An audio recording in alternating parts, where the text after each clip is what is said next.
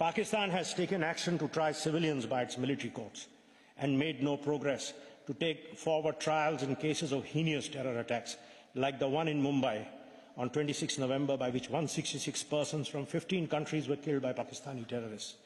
Prominent Pakistani newspaper Dawn carried an interview of their former Prime Minister, Mr. Nawaz Sharif, in which he was quoted as having made the admission of Pakistan's complicity in Mumbai terror attacks, stating, militant organizations are active. Call them non-state actors. Should we allow them to cross the border and kill 150 people in Mumbai? Explain it to me. Why can't we complete that trial? Jadhav's trial was completed in six months, four months. How many weeks? Quick trial